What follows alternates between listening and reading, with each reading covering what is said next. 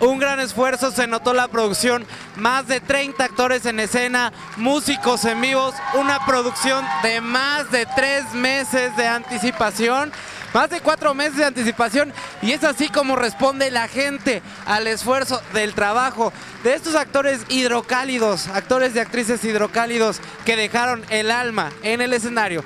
Bueno amigos de Ultra Televisión, como ya llegamos al final de Jesucristo Superestrella, en la primera función, y bueno, yo estoy capturando impresiones de la gente, me encuentro con mi amiga Yadira. Yadira, ¿qué te pareció? Primero que nada, buenas noches. Hola, buenas noches. Me encantó, definitivamente me encantó. Yo creo que es una ardua recomendación que vamos a hacer para toda la gente. Yo creo que ustedes, al momento de darse la oportunidad de poder conocer todo este tipo de obras, es precisamente para poder transmitir todo eso en cada una de sus hogares. Y yo creo que si no respaldamos el trabajo de todos los chavos que se dieron la vida ahí en esta función, pues qué más eh, podemos hacer, ¿no? De verdad, yo creo que hay, hay que respetarlo, hay que agradecer que se den a la tarea de hacer este tipo de funciones un abrazote para Rafa Paniagua como director de esta puesta en escena.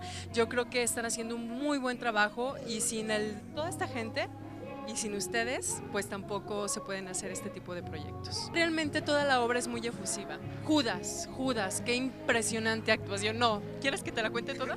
Bueno, pues muchísimas gracias por tus opiniones. Yo me voy a seguir recolectando opiniones de la gente y ahorita nos seguimos viendo.